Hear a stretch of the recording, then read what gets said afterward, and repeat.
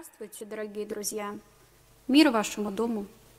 Здоровья и терпения вам, вашим родным и вашим детям в наше трудное время пандемии и лишений.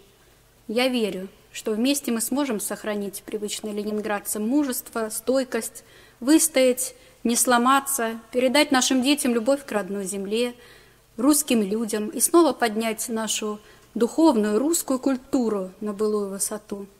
Мои, мои дорогие сограждане, многие в ваших семьях, отцы, деды, прадеды, сражались, умирали за это. И мы выстоим, сохраним нашу историю, нашу память, великую блокадную память мужества простых русских людей, таких, как мы с вами. Моему родному деду было 10 лет, когда началась война. Он работал на заводе для военных целей, встав на подставку, чтобы доставать. Его три старших брата, мои двоюродные дедушки, все ушли на фронт – как и многие в ваших семьях. Из троих живым вернулся только один, старший, Георгий. Он дошел до Берлина и возвратился назад, израненный, но веселый, с медалями и победой. Я родилась в Ленинграде в 1981 году, а себя помню с четырех лет, с 85 -го года, когда меня отдали в музыкальную школу. Мне нравилось петь военные наши песни. Я люблю наш белый город, который долго, еще после переименования, подписывала в письмах Ленинградом. Я посвящаю всем вам, дорогие друзья, и вашим семьям мои стихи о любимом родном городе. Ленинград. В нем кровью сковали январские льды, Тот путь за водой по небесной Неве. Мой город, мы стали со смертью на «ты», Мы мессеры жгли в голубой синеве, мы знали бадаевских складов огонь, Фашистских собак обжигающий смрад, А ты перед выходом пальцами тронь В музее застывший наш верный снаряд, Как звезды вскипают цвета орденов, Запекшейся памятью русской страны. Мы выгрозли наш Ленинград из оков Из страшных смертельных объятий войны. На полковских высях, на Невской губе, В низине седых, боевых пятачков Мы, как незабудки, остались в траве, Ни шагу не сдав из родных берегов.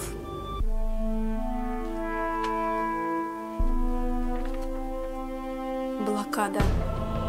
Горячим дыханием Своим обожгу Блокадного города. Зимние пальцы В них стук метронома взметает пургу В них смерть вышивает последние пяльцы.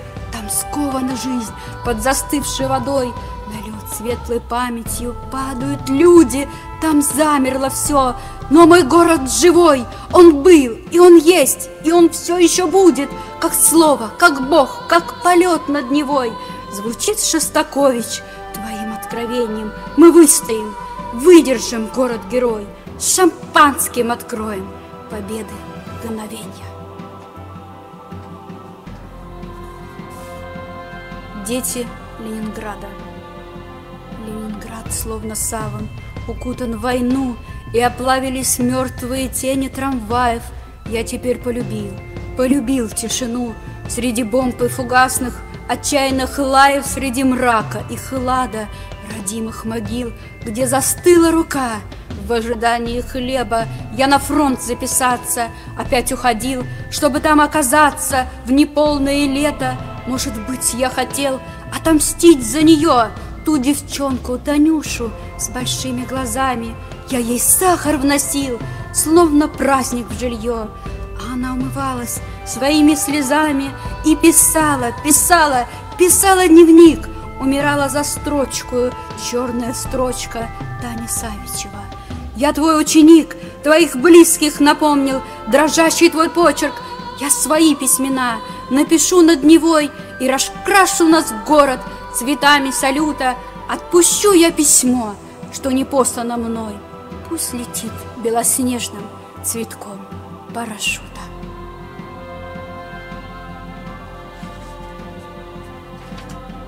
Дорога жизни. Не могу надышаться строкой белоснежного неба. Снова память рисует уснувших людей письмена.